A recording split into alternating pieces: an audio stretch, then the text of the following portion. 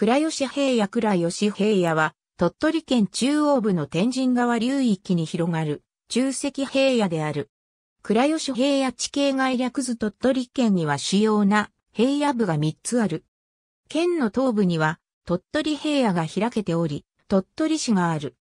西部には米子平野があって、米子市がある。倉吉平野は県の中央部にあって、倉吉市を中心とした経済圏がある。これらの平野はいずれも山陰地方の典型的な地形を作っている。中国山地に発する川が下流に中石平野を作り、海岸部に砂丘や砂州があり、石湖を伴っている。鳥取平野の場合には、千代川、鳥取砂丘、小山池がこれに相当し、米子平野の場合には、日野川、弓ヶ浜、中海がそれである。倉吉平野では、天神川、北条砂丘、東郷湖がこれらにあたる。鳥取平野は、旧稲葉国の主要地域となっていて、倉吉平野と米子平野が、旧法規国の主要地域である。このため、倉吉平野を中心とする地域を、東法規とも呼ぶ。旧法規国の国府は、倉吉平野にあり、かつては山陰地方の政治、経済、文化の中心地域の一つだった。どの範囲を倉吉平野と呼ぶかには大きく二通りある。競技では、ハワイ平野と北条平野を合わせたものが倉吉平野である。講義の倉吉平野には、これに倉吉盆地が加わる。天神川は下流で三角州を作っていて、右岸をハワイ平野、左岸を北条平野と呼ぶ。この二つの平野を合わせて倉吉平野と呼ぶ。海岸付近には北条砂丘と呼ばれる砂丘帯が東西に伸びている。天神川の中流域には戦場地の倉吉盆地があり、ハワイ平野、北条平野、倉吉盆地の三つを合わせて、講義の倉吉平野と呼ぶ場合もある。三角州であるハワイ平野、北条平野と戦場地である倉吉盆地の境は JR 山陰本線が天神川を渡るあたりに相当する。鳥取県東部地域との境をなす山地を東白山地と呼ぶ。天神川を形成する主要な川は、竹田川、小鴨川、国府川である。かつては、この三川が合流した後の下流部分を天神川と呼んでいた。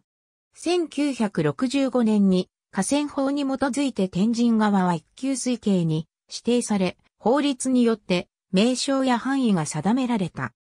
これによって、天神川の本流は、竹田川と定められたため、竹田川は、法律上の正式名ではなく、天神川の本流となる。小鴨川と国府川はいずれも、天神川の支流と定められている。下流部分の天神川の名称は、近世以降のものである。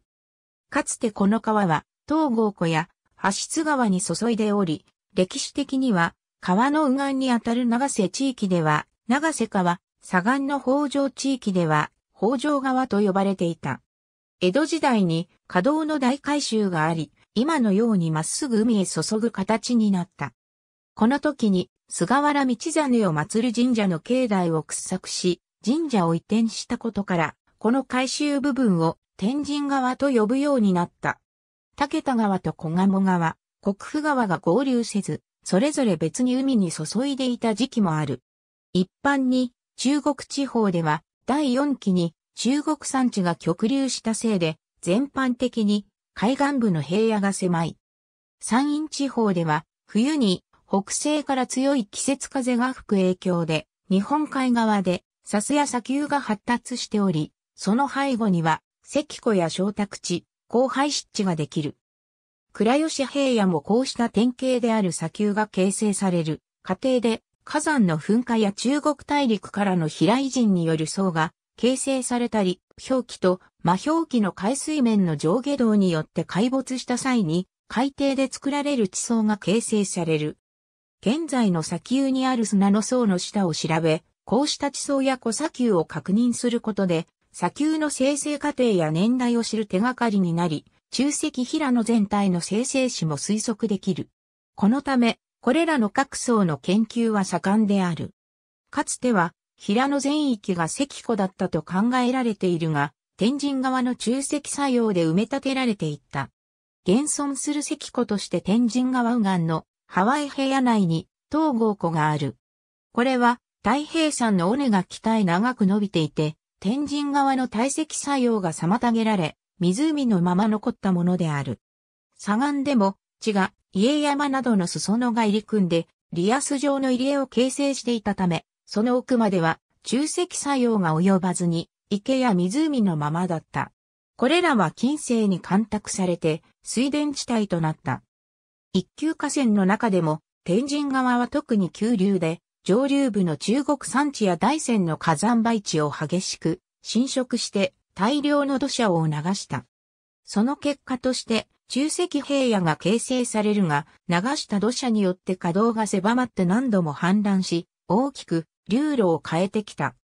天神川、小鴨川、国府川や隣接する由良川などは歴史的に大きく流路を変えて河川争奪を繰り返してきたことが歴史的資料や伝承として残っており、地質調査や遺跡の考古的研究からこうした伝承や記録が裏付けられている。今の鳥取県では倉吉平野を中心とする商業圏は県内3位の規模である。かつて倉吉盆地には法規国の国府があり、古代にはこの地方の中心地の一つだった。倉吉盆地からはその頃の遺跡が多数発見されている。倉吉盆地の倉吉市は、江戸時代の城下町から近代に紡績業が発展し、倉吉都市圏を形成している。北条平野やハワイ平野はその頃からの農業地帯で、飛鳥時代に敷かれた上理性が今でも広範囲に残っている。これらの地域には山陰道などの古道が通っていたが、砂丘の影響で村が発展しにくく、大きな街道村へ発展することもなく、現代でも農業地帯となっている。近世以降に関湖が干拓された地域では、古代の上理性とは異なる区割りがされており、古くからの水郷地帯と似た地域を区別することができる。かつて山陰地方や鳥取では縄文時代以前の遺跡、古墳に乏しいと考えられており、倉吉平野はその例外として、旧石器時代から縄文前期の規模の大きい遺跡や希少な出土品が発見されて注目を集めた。砂丘の砂の下からも古代から室町時代までの大きな集落跡が見つかっている。かつては現在よりも海面が高く内陸まで海だった。東側は馬の山や東白山地に遮られ、海上には玄武岩や花崗岩の頂が孤島のように並んでいた。これが現在の茶臼山、石山、三輪山といった砂丘南部の高所になっている。この島を起点として前方に砂地が形成され、やがて繋がって砂スとなり、外目と内海を隔てた。この頃の内海を古北条湾などと言い、現在の倉吉駅があるあたりの入り江を、海田湾、東郷湖は、東郷湾などという。やがて川の中積作用で古北条湾は埋め立てられていったが、山裾に遮られて、中積作用が及ばないあたりは、石湖として水域が残った。海岸では、砂丘がさらに発達した。このほか、地形の隆起や沈降も関わったと考えられているが、詳しくは分かっていない。東郷湖はハワイ平野の奥まで中積作用が及ばず残された石湖である。ハワイ平野は天神川の右岸に広がる平野である。西は天神川、北は日本海と海岸砂丘、東は橋、津川、東郷湖と三方を水域に囲まれている。この地域には飛鳥時代から上理性が敷かれており、今も平野の大部分には南北の方位に沿って整然と区画された水田が600ヘクタール余りに渡って広がっている。ハワイ平野の全域は2004年の合併によって誕生したゆり浜町に属しており、旧ハワイ町の中心部や統合湖畔のハワイ温泉などに市街地が形成されている。ハワイ平野にはハワイ温泉の他統合温泉などの温泉地が点在し、これらのボーリングの結果から部分的ではあるが深さ100メートルほどのあたりまでの地層が分かっており、平野形成のメカニズムを知る手がかりになった。ハワイ平野の土台は第4期に形成された。これに先立つ新第3期の終わり頃に中国山地が出来上がると川がこれを削り、流された土砂が日本海側の海岸付近で堆積した。第4期には寒冷な表記と温暖な魔表記が繰り返され、その度に海面は上昇と下降を繰り返し、海岸線は前進したり後退したりした。ハワイ平野のあたりも何度か海の底になっており、その頃に海底で形成された地層と陸上で土砂が堆積した層、そして大山などの火山による層の分布から約10万年前から20万年前にハワイ平野の原型が出来上がったことがわかっている。こうした表記、魔表記に形成された鉱石層は50メートルから70メートルほどの厚さがある。その下には花崗岩の岩盤がある。最後の表記が終わり、暖かい時代になった頃、ハワイ平野全体はラグーンを成していた。小鴨川、国府川、竹田川、三徳河原を合わせて狭い谷を抜けてきた天神川は、北条砂丘やハワイ砂丘によって北進を阻まれ、近世に至るまで何度も流路を変えた。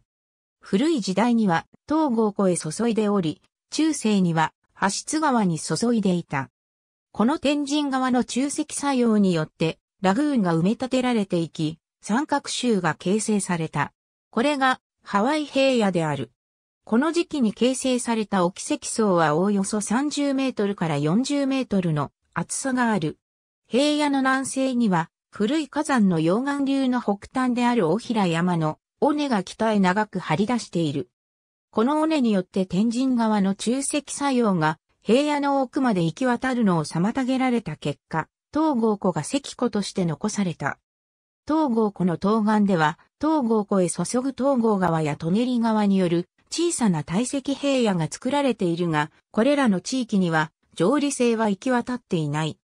平地部分では稲作が行われているが、丘陵地帯では20世紀梨などの梨栽培が盛んに行われている。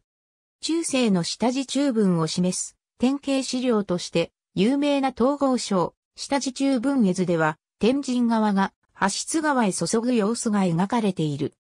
この絵図では古代の上理性時代からの水郷地帯に設けられた松尾大社の荘園が自党となった東郷氏による散奪を受けていることが示されている。室町時代になると東郷氏は南城氏によってこの地域から駆逐された。南城氏は東郷この南の山上に羽衣岩木を築いてこの一帯を支配した。後に西の天越や森氏、東の山梨といった大勢力に挟まれながらも戦国末期まで生き残ったが、関ヶ原の戦いで西軍について戦後に所領を失った。その後は鳥取藩の支配地域となった。ハイ平野には上理性の区画割がはっきり残る。中央部の上理性が崩れている場所が天神川の旧河道である。この辺りの地域の中でハワイ平野は上理性の区画割を現代でも最もよく残している。この整然とした区画割が乱れているあたりは、上理性が敷かれた飛鳥時代よりも後世に農地化されたことがわかる。つまり、上理性が敷かれた古代には水域だった場所となる。これにより、東郷湖は古代よりも縮小しており、大きいところでは800メートル余りも湖岸が縮体している。漢文年間に鳥取藩が天神川の稼働の大改修を行い、今のようにまっすぐ北流して日本海へ注ぐ形になったが、現在の百合浜町役場などが集まる中心市街地付近では、大宗国道179号に沿うように、上理性の整然とした区画になっていない地域が帯状に連なっており、これらの地域が上理性が敷かれた飛鳥時代には稼働だったことを伝えている。江戸時代には、ハイ平野は、放棄を代表する国葬地帯となり、収穫物は、橋津川の川口から水運によって各地へ運び出されていた。国府川、小鴨川は、由良川へ注いでいた時期もある。入江に関湖が形成されていた。天文年間の大洪水で国府川、小鴨川は竹田川に注ぐようになった。江戸時代の稼働改修で直接海に出るようになった。以来、天神川と呼ばれるようになった。北条平野は天神川の左岸に東西に広がっている。天神川の中積作用によって形成された三角州である。ハワイ平野と同じように広い範囲で飛鳥時代に定められた条理性に基づく南北方向に沿った整然とした水郷地帯が広がっている。北条平野は以前は東側の北条町と西側の大栄町とに分かれていたが、2005年に両町が合併して、今は北栄町が北条平野のほとんどを占めている。山陰道が北条平野を東西に貫いているが、この辺りでは街道村は形成されず、近代に入っても本格的な都市は発展しなかった。北の北条砂丘や南の丘陵部の裾野に集落がある程度で、今も大部分は水郷地帯である。北条平野の南側には周囲を丘陵に囲まれた湾状の地形がいくつかある。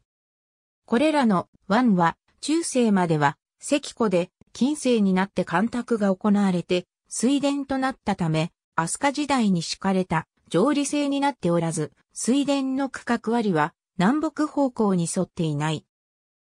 これらのうち、地が家山の東側からは山陰最大級の貝塚遺跡である島遺跡が見つかっていて、数千年にわたり、ここが湖だったことを示している。また、地が家山の西側の干拓地を灘で平野と呼ぶ場合もある。天神川はかつて何度も大きく稼働を変えており、現在の流路から見ると右岸では東郷湖や橋津川に注いでいた時期があるが、北条平野がある左岸では、清流して由良川に注いでいた時期もある。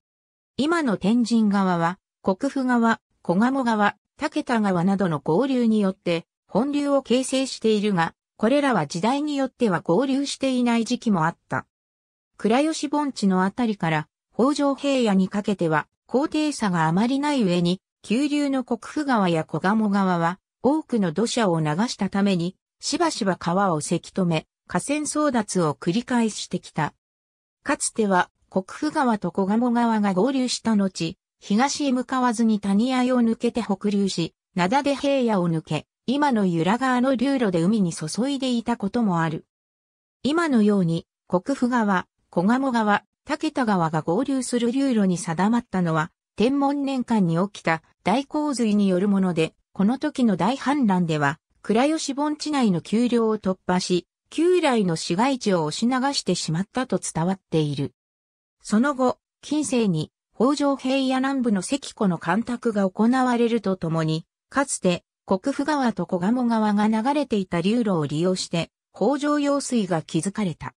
今の北条川は、国府川と小鴨川の合流地点から取水し、そのまま谷を北へ抜けて、北条平野を流れた後、由良川へ注いでいる。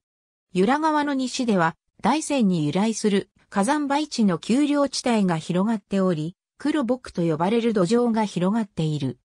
地形としてはこれらの丘陵地帯は、北条平野とは言えないが、今の北栄町の町域全体を指して、北条平野ということもある。特に旧大栄町の大半がこの丘陵地帯に相当するが、この地域は特にスイカの栽培地として全国屈指の産地として知られており、大栄スイカがその代名詞となっている。このほか、葉タバコの生産も行われている。北条平野と島遺跡、灘州平野灘で平野の北栄町穂波地域。かつては蜘ヶ家山の裾野が入り組んだ入り江だった。天神川右岸の羽合平野で大平山に阻まれて、沖積作用が及ばなかった東郷湖が残されたのと同じように、北条平野でも蜘ヶ家山によって天神川の沖積作用が妨げられ、石湖が残った。西では、由良の海と言われた故障が、灘で平野となった。地が、家山の登録からは、島遺跡という広大な縄文時代の貝塚が見つかった。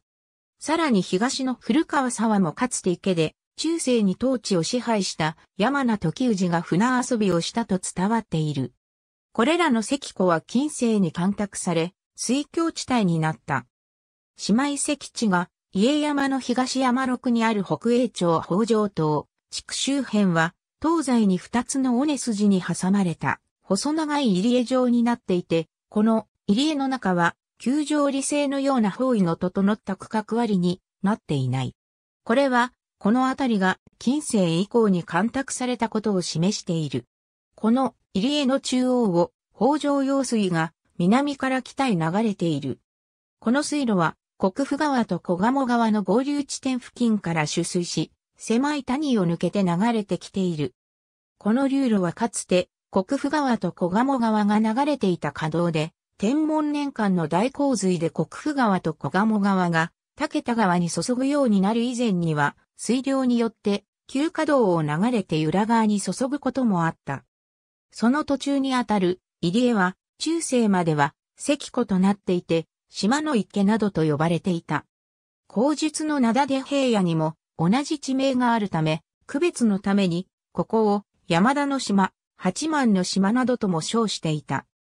17世紀の中頃、鳥取藩によって天神川の下流の稼働改修が行われた。これにより、その頃橋津川に注いでいた天神川は、まっすぐ北へ流れて、直接日本海へ注ぐようになり、これ以降、天神川の流路は大きく変わらなくなった。これと並行して慶安から元禄年間にかけて、この辺りで池や低湿地の排水、干拓と神殿開発が行われた記録がある。しかし、高化年間の記録でも、わずかな霧雨でも湖のようになるとあり、近代になる直前まで小宅地だったことが伝わっている。1952年にこの辺りの北条用水付近で改修工事をしていたところ、貝塚を伴う遺跡が発見され、島遺跡と呼ばれるようになった。当時は鳥取県内では縄文時代の遺跡がほとんどないとされていたが、鳥取県内の縄文遺跡としては最大級の規模であることが分かった。島遺跡からは山陰地方では初めてとなる前期縄文式土器が出土したほか、山陰では珍しい貝塚が見つかり、山陰地方を代表する遺跡と目されるようになった。本格的な調査が行われたのは1982年と1996から1997年になってからだが、これによって改めてこの辺りは数千年をかけて海から湖に変わっていったことが明らかになった。中心的な年代はおおよそ4000年前から3000年前と考えられており、この辺りでの旧石器時代から縄文前期への過渡期を示すものとされている。島遺跡の調査から近世以前の様々な資料が言及してきたように、ここがかつて海だったことが判明した。2300年前頃まで数千年をかけて海水面は下がっていき、この辺りは海底から遠浅の海、関湖へ変わっていった。海水だった湖水は、関湖になって川の水が流入することで、長い時間をかけて淡水になっていった。これらの変化を裏付けるものとして、貝塚の古い層からは、海水性のマガキやハマグリ、イソシジミが出土しており、新しい層からは、寄水性のヤマトシジミが見つかっている。このほか、丸木船も発見された。灘州平野灘で平野の北端にある北栄町、瀬戸地域。地名にもかつて岸辺だったことが現れている。灘で平野は、北条平野の南西部にある。この平野部は、倉吉市と北栄町にまたがっており、倉吉市側には、旧灘出村があって灘出平野と称すが、北栄町側には、旧島村があって、島平野と呼んでいる。平野は周囲を山や丘に囲まれた入江状の地形になっていて、東は標高176メートルの地が家山、南から西、北にかけては大山から流れ出た溶岩台地がある。平野部の中心には標高10メートル程度の丘があり、旧島村の村落がこの丘の上にある。現在は平野の中央を由良川が流れていて、様々な支流がこの平野で由良川に合流している。天神川が一級河川の中でも急流であるのに、対し、由良川は極端な観光梅で、この辺りの川床の標高はわずかに10センチほどしかなく、ほとんど海水面と一緒である。そのため川の流れは緩く、強風による飛砂で容易に河口が狭まってしまい、この平野は今も氾濫上州区域となっている。灘で平野は標高が1メートルから3メートルほどしかなく、近世までは湖だった。縄文時代前期には縄文海進と呼ばれる海水面の上昇があり、今よりも5メートルほど海水面が高かった。したがって灘で平野は完全に水没しており、現在の大島地区の丘の上部だけが島のように浮かんでいた。古代には、ユラの海と呼ばれ、当地の神社の伝承では、ヤマトタケルの生成の折に、ここを浮きスの社と称したとしている。近世までは、島の池とも呼ばれていた。享保年間に排水や干拓が行われて、水田となったが、北条平野の他の地域のような南北に沿った上理性になっていない。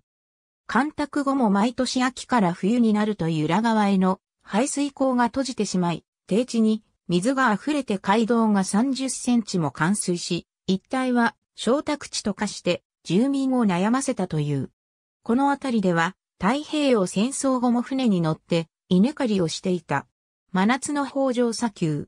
写真左端の砂丘の頂部には、砂防林の松林が形成されている。北条砂丘の風力発電北条砂丘は、倉吉平野の北の縁にあって、日本海と倉吉平野を隔てる海岸砂丘帯である。鳥取県内では、鳥取砂丘に次ぐ規模がある。海岸線に沿って東西に 12km ほどの延長があり、南北方向の奥行きは 1.5km から 1.8km ほど、面積は1100ヘクタールほどある。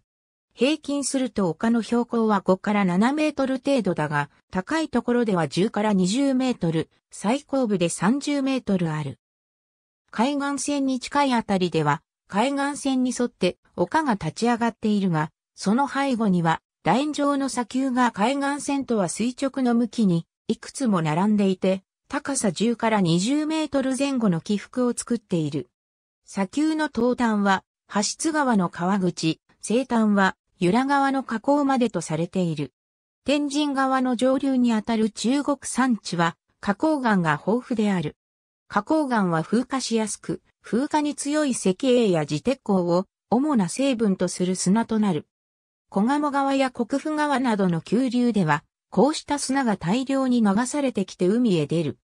山陰地方では、北西の季節風が強く、砂は陸へ戻されて、砂スを作り、さらに風がこれを陸側へ吹き戻すことで砂丘を形成している。砂丘は長い間、毛立ち申さずと言って、人を寄せ付けない不毛の地だった。そればかりか、飛砂によって砂丘の近くに定住することも妨げられた。江戸時代に考えを試みた増田新造は砂漠と呼んでおり、砂丘という故障は明治以降のものである。砂丘のすぐ南側には古くから山陰道が通っていたにもかかわらず、本格的な街道庁、宿場町は形成されなかった。近世に入って、砂防林と灌漑の整備の取り組みが始まり、農地利用の宣弁が付けられた。小高い丘陵上の砂地への灌漑は容易ではなく、長年にわたって農民を苦しめたが、現代になって機械式の冠水装置が整備され、一大農業地帯へと変貌を遂げた。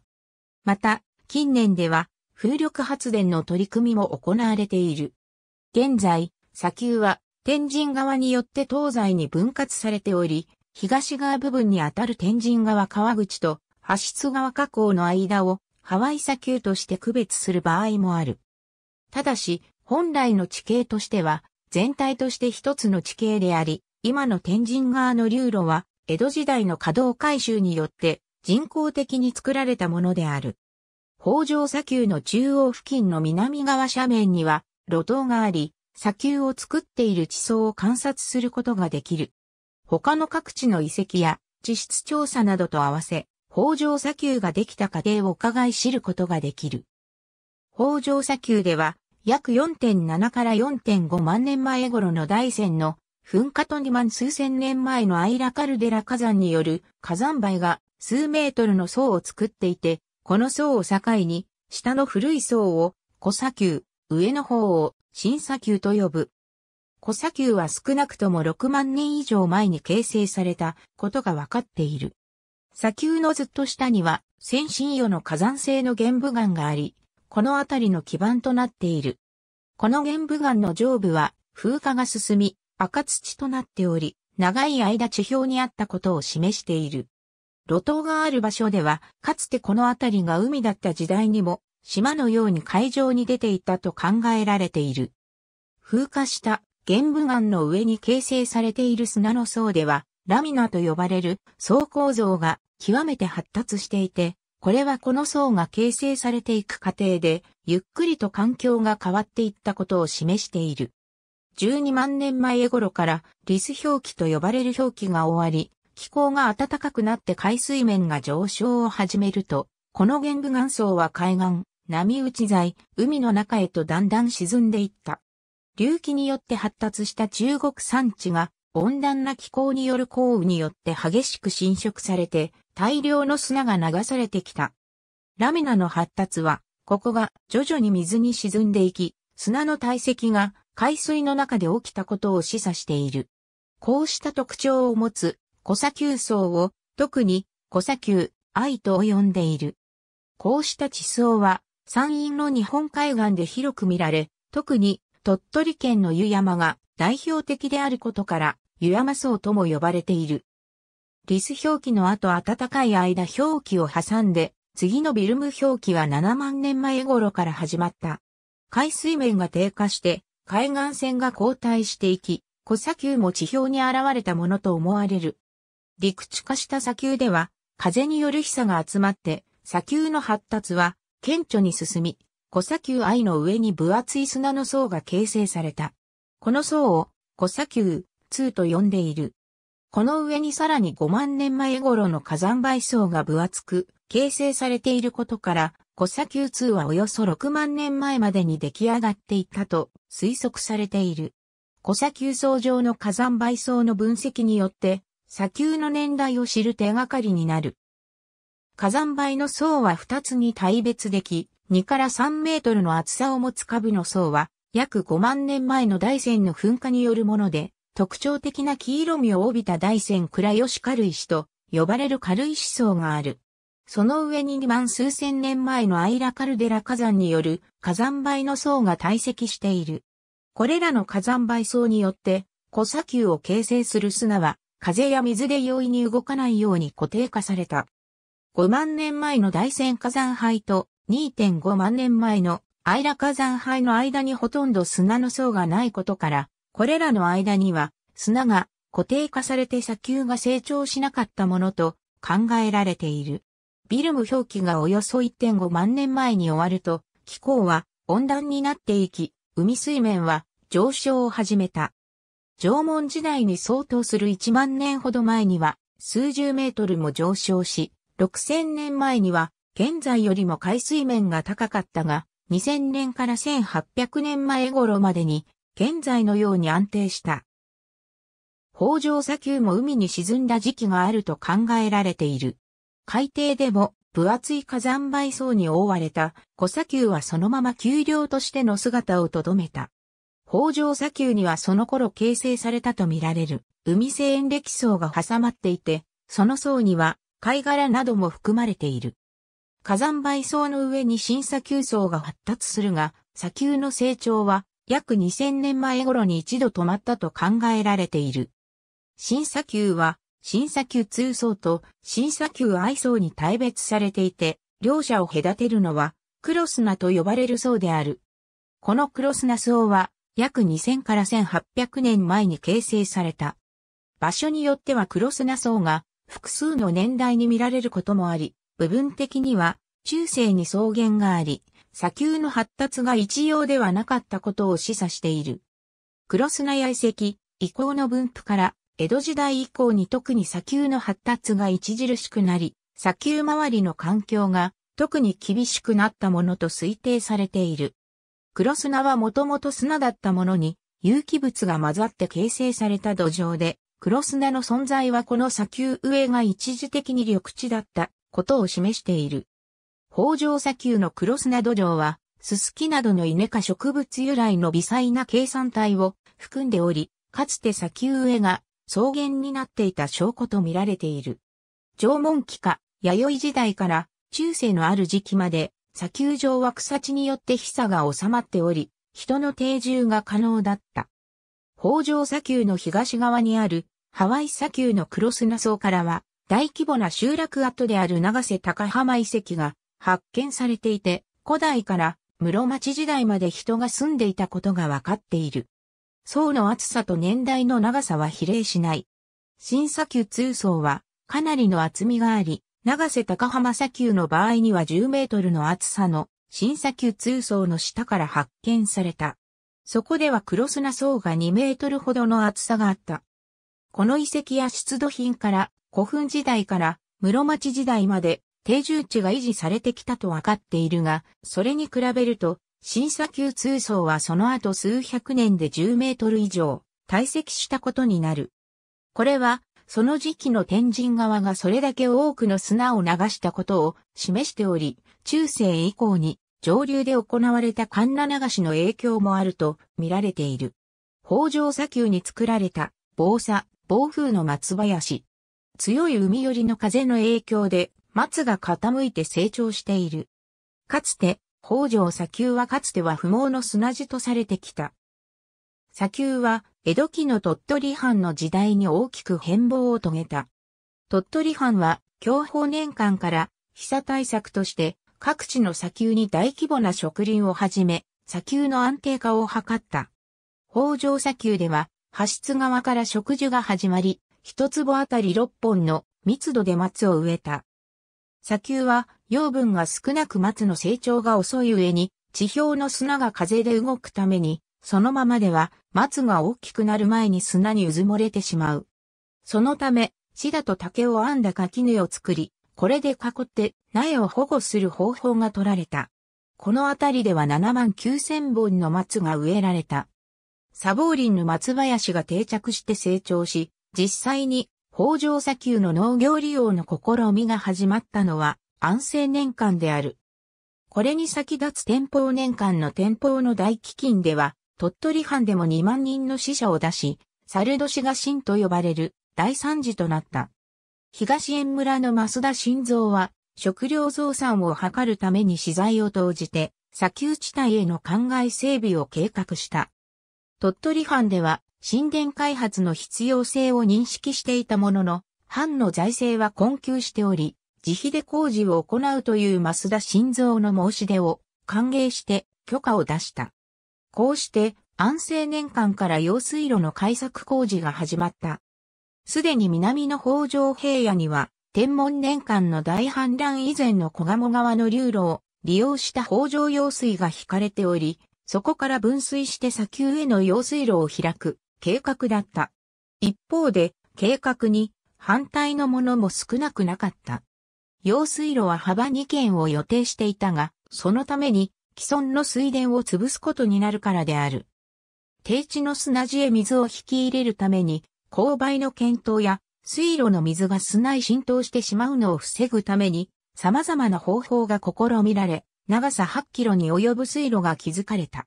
ところが、水路が完成して水を引き入れると、北条用水の方が水不足に陥ってしまい、天神川本流から直接水を引く必要が生じた。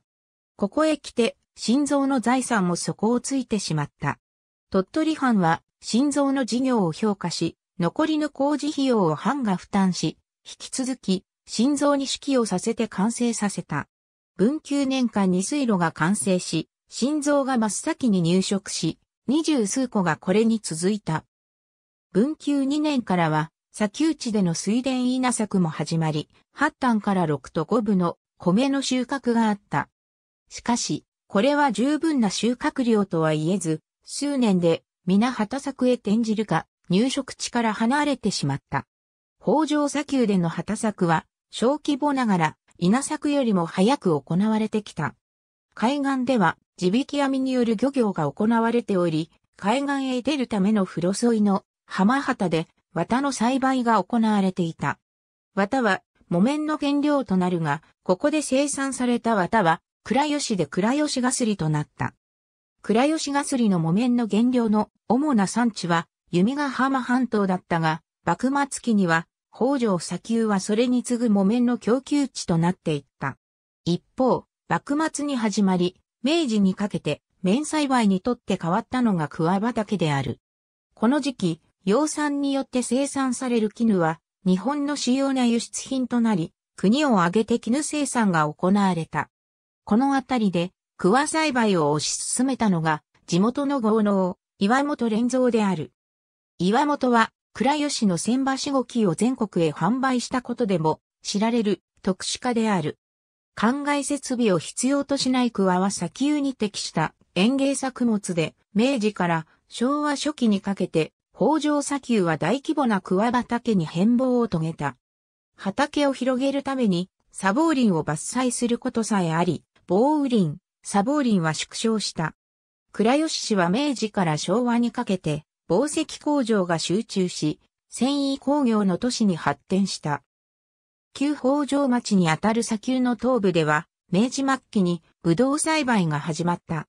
この辺りにブドウが伝わったのは、幕末の1856年で、海の国から持ち込まれたとされている。砂地特有の水はけの良さと、砂地の照り返しによる昼と夜の寒暖の差が、ブドウに適しており、明治40年頃から砂丘での栽培が本格化した。西日本でのブドウ栽培としては稀有のもので、全国的な知名度を獲得した。昭和に入って戦時体制が進むと、ブドウは生殖用ではなく軍需品と扱われるようになった。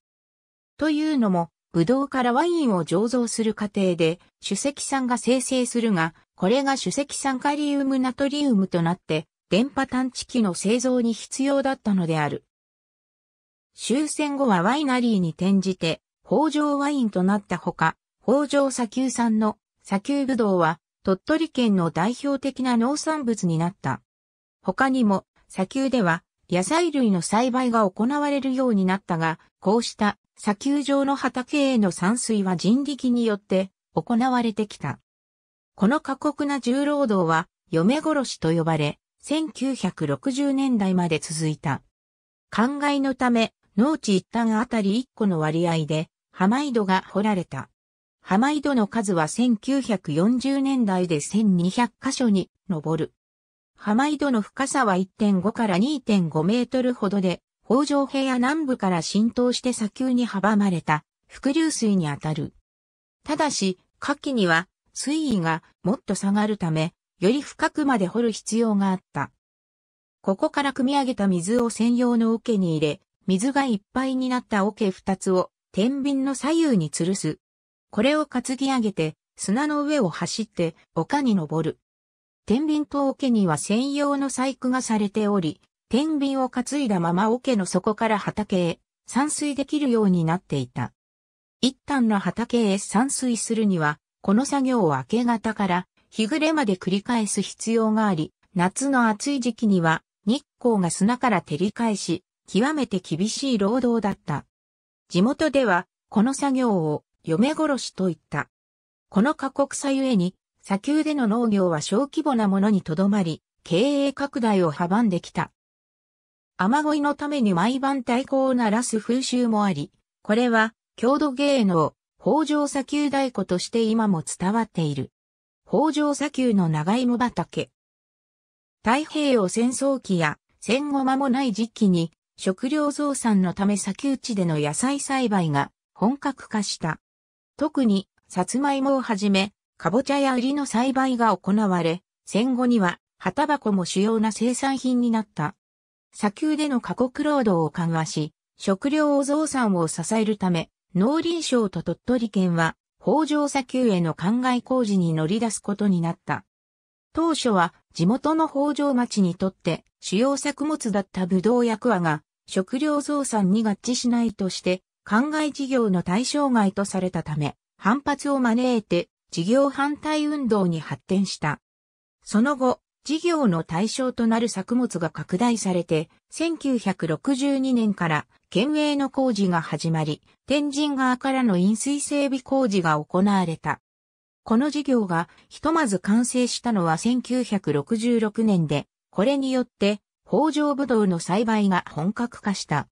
この後、砂丘を削って平らな農地を創生したり、農道の整備や不正系農地の区画整理などの補助整備が行われ、農業の効率化も図られた。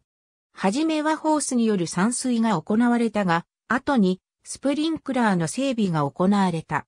さらに1990年代には、スプリンクラーの集中管理と自動化によって農作業の集約化が実現した。近年は北条平野の稲作農家が兼業で、北条砂丘での野菜栽培を行うものが多い。これらの事業によって、北条砂丘は、かつての不毛の地から農業の宝庫へと変貌し、鳥取県の代表的な農業地帯の一つとなった。主に果樹、野菜、用タバコの生産が行われている。とりわけ主要な作物は、ブドウと長芋である。ブドウは前述の通り、旧北条町の砂丘ぶどうが特産品となっている。長芋は砂丘地で促成されることで小さいが形が整う淡白な味わいでくどさがない粘りが少ないなどの特徴があり砂丘長芋として旧大栄町の特産品となった。どちらも鳥取県の代表的な農産物の一つである。北条砂丘のうち天神川伊東、橋津川との間をハワイ砂丘と呼ぶ場合もある。このほか、長瀬砂丘、長瀬高浜砂丘などの故障もある。東の橋は、橋津川とその右岸の馬の山によって遮られている。馬の山の中原には、橋津古墳群と呼ばれる古墳時代の遺跡が集中しており、前方後円墳や円墳が大小24基ほど発見されている。この対岸には幕末に台場が設けられ、国の史跡となっている。ハワイ砂丘の中からは、1977年に長瀬高浜遺跡が発見されている。この遺跡は、弥生時代の初めから室町時代まで営まれた大規模な集落跡で、現在の砂丘の表面から10メートル下の砂の中から発見された。住居跡160以上、その他建物40以上、大型建物3、古墳41、百数十にも及ぶ埴輪などを含み、山陰でも最大規模である。うつぶき城から眺める倉吉盆地倉吉盆地は、天神川の中流一帯の平地を指す。周囲を丘陵や山に囲まれた盆地状になっており、ほぼ全域が倉吉市に属している。倉吉盆地は、競技の倉吉平野には含めないが、倉吉盆地には大きな市街地が形成されており、鳥取県では3番目の規模がある商業圏を形成していて、北条平野、ハワイ平野と合わせて、講義の倉吉平野とされる場合もある。倉吉盆地には、古代に法規国の国府があり、かつては山陰を代表する政治、経済、文化の中心地だった。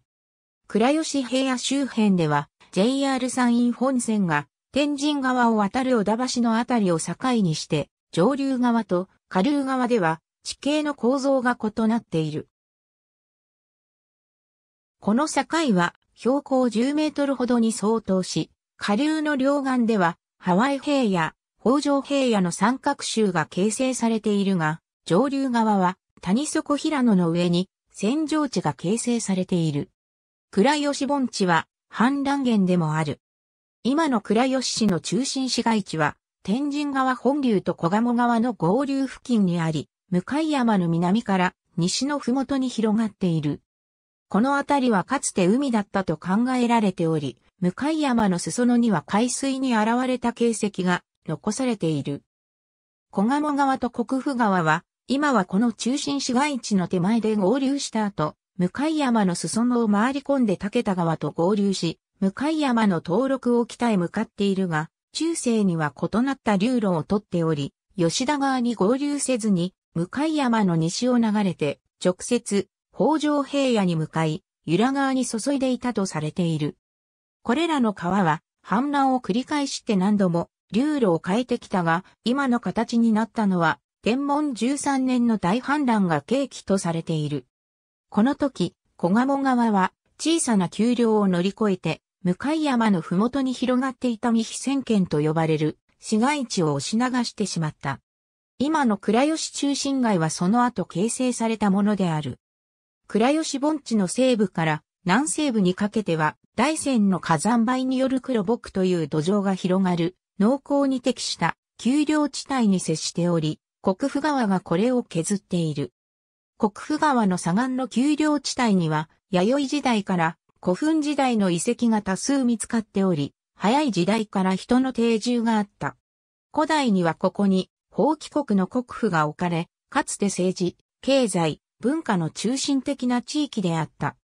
この丘陵地からは、国府、国分寺、国部山寺などの遺構が見つかっており、国府川や小鴨川の流域には、上理性の痕跡も残っている。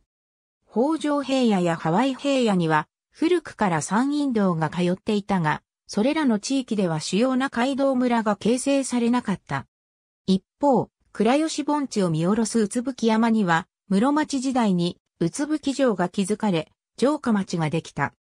前述の通り、この城下町は天文年間に創出されたが、残った平地に新たな城下町が形成され、近世には東方期の商業の中心地となっていった。特に不毛の地だった北条砂丘で木綿の栽培が始まると、生産された綿は、倉吉に運ばれて倉吉ガスリが紡がれるようになり、近代の繊維工業の発達の土壌となった。明治時代になっても北条平野やハワイ平野は農村のままだったが、倉吉盆地では市街地がさらに発展した。明治末期に山陰本線が開通した時、線路は倉吉市街中心地を通らず、天神川の十勝点付近に上井駅ができただけだったが、数年後に倉吉線が開通して、倉吉の中心市街に倉吉駅ができた。これとともに、軍勢製紙や福井紡績など、大手製紙会社の製紙、紡績工場が誘致され、商工業が発展した。昭和の終わりに倉吉線は廃止され、上井駅が倉吉駅と解消したが、今でも中心市街は、うつぶき山のふもとにある。ありがとうございます。